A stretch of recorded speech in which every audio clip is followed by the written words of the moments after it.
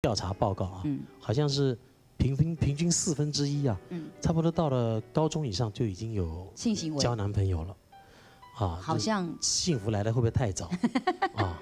那来的早，好像麻痹的也会早一点啊。所以第一次来的太早，不见得是好的事情，大家可以保留晚一点。但是也不要像小哥，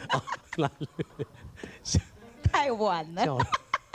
像 我这个是，我这个可以得得到黑桥牌的金像奖样子。哎哎，今天不是轻音乐吗？哎，你可以收敛，收一下。哎，大部分情侣是这样子了，差不多，呃，这个是若即若离啊，跟这个甜蜜在一起很腻的时候，就要分手，找对方的缺点，吵了吵了，就距离是慢慢慢慢拉远的。嗯，差不多是这样了。第一次吵架是这样，嗯，你给我走，我永远不要看到你。把你所有衣服都带走，我一件都不要看到。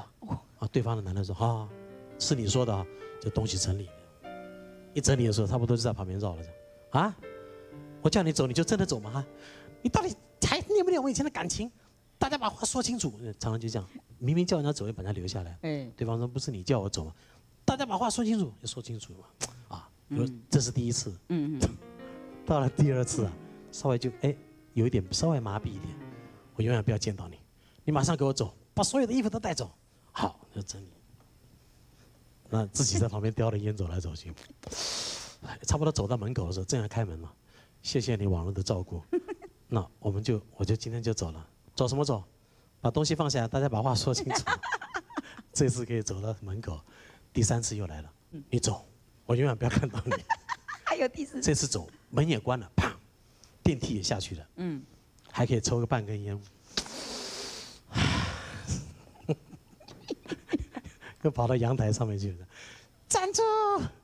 大家回来把话说清楚。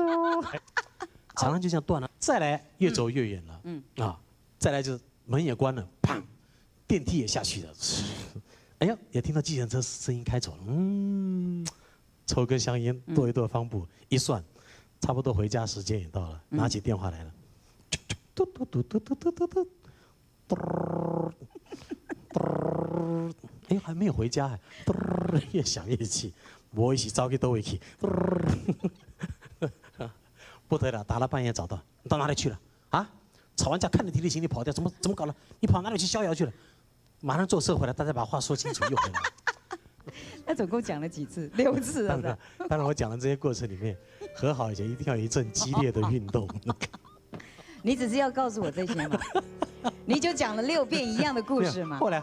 后来就，后来就越来越远了。哦，终于差不多三个月不见了。嗯，第七半年不见了。后来还托人家打听，哎，最近他有没有跟谁？哎呀，后来果然听到，心里又想问，可是又知道答案，旁边有一个他有一个伴侣了。哦，哎，又有一点怅然所失。嗯，然后慢慢就拖远了。大概人性是如此的啊。